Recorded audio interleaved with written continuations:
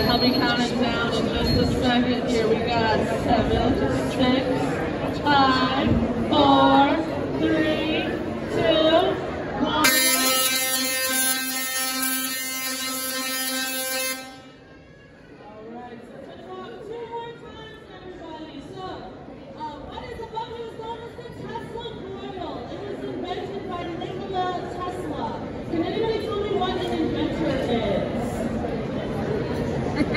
Yeah, exactly. Somebody who creates stuff. We're going to try to solve some sort of problem. And Nikola Tesla was one such guy. Now, he lived in the late 1800s when a lot of people didn't have electricity in their homes.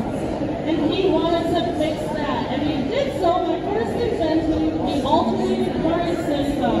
And this would bring electricity into your house with wires. But he was like,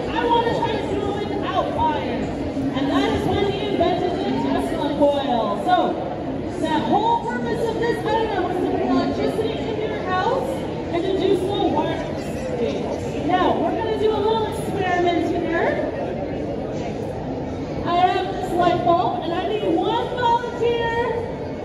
I know I'm gonna get a back there. Come on up. We will see.